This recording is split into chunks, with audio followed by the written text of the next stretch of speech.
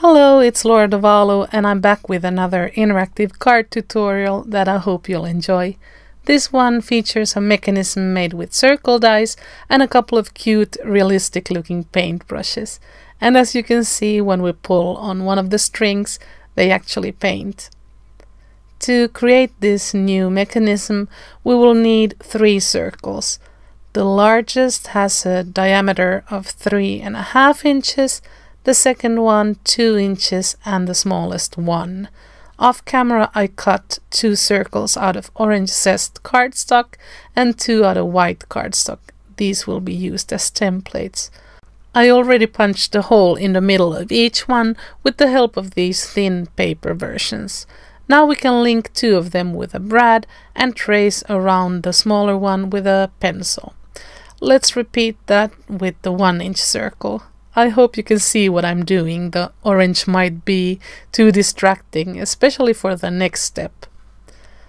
Okay, let's grab a ruler and trace a line down the middle of the orange circle. Now I'm going to use the grid as a reference to draw another line diagonally. My grid is in centimeters, so one square equals 3 eighths of an inches. It doesn't have to be super exact. Next, I'm going to draw a tangent to that middle circle from the right middle up and then from the left middle down. You'll see a close-up of the piece really soon if you want to do a screenshot of it. Let me just erase some of these lines for you. Now we just need to cut this piece out and use it as a template to trace onto the other orange circle. We need it to be a little bit sturdy. I know that most people don't enjoy fussy cutting as much as I do. This is an easy shape, but you need to be careful not to cut too much in those sharp corners. Okay, I promise this is the last time that we need to trace something for this card. After erasing all of the lines, we can use liquid glue to stack the pieces and afterwards you might need to trim some parts like I had to. If you want to add a little bit of texture to the paint strokes, just swipe across them with the matching ink. The paint brushes are from the In the Toolbox set 1 Die-namics. Here are all of the pieces that I used for each brush, and this is what it looks like after assembling, shading, and glossy accents. Isn't that cute? For this card I used a slightly larger than an A2 card base to nicely frame my panel of Blue Beyond cardstock with ink splatters. Never mind that mechanism piece, in my first version I covered it with clear embossing and it wouldn't slide nicely so I redid it. But I wanted to include this footage where I show all of the card elements, like the little banner with a sentiment from the Crafty Caddy greetings. I lost my most used stamps from the interactive labels set, so I used this cool Christmas greeting set to partially stamp the word pull on two 1 inch circles. We will also need about 16 inches of string, preferably the type that doesn't unravel easily. Here I'm placing the main elements of my panel to see where I need to punch a hole for the brad. The paint brushes will overlap almost an inch of the edges of the strokes, so this will be perfect.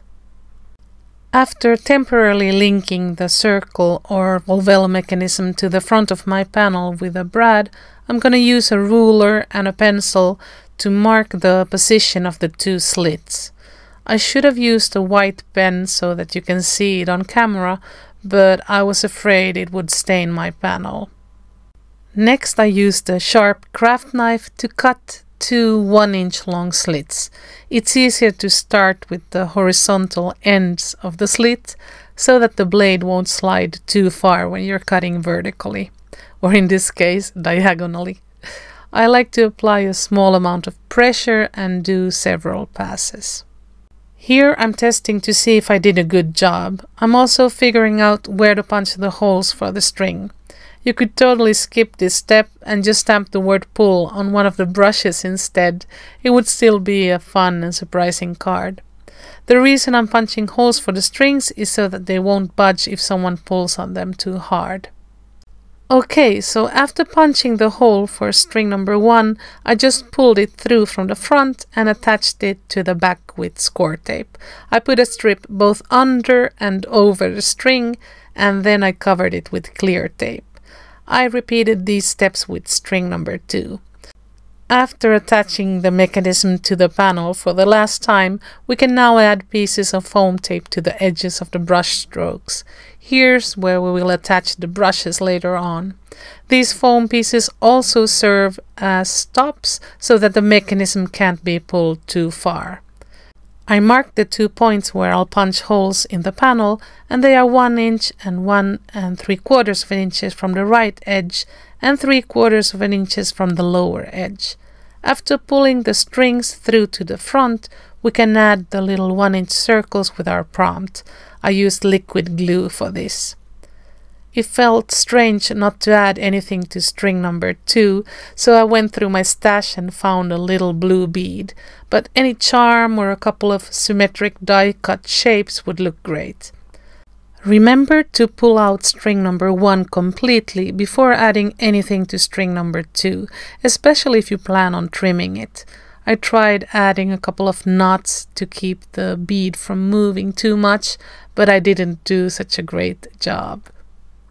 Off camera, I added some foam squares to the back of the panel, and after adhering it to the card base, we can finally attach the little brushes. Do that loosely at first and check the movement to see if it looks good before pressing down firmly. I'm happy with the results, so I can now add the sentiment strip, which hopefully will fit on the lower edge yeah, I think it'll look good there. The only thing that's missing is the heart from the In the Name of Love Die-namic set. And here it is. I added some slivers in the corners. And that's it. Our card is finished. I can't wait to give this one to an artist friend of mine. I hope you enjoyed today's tutorial. As always, you'll find all of the details in the description box below. If you have any questions, just leave a comment here or on my Instagram. Thank you so much for watching. Have a great day. Hasta la próxima.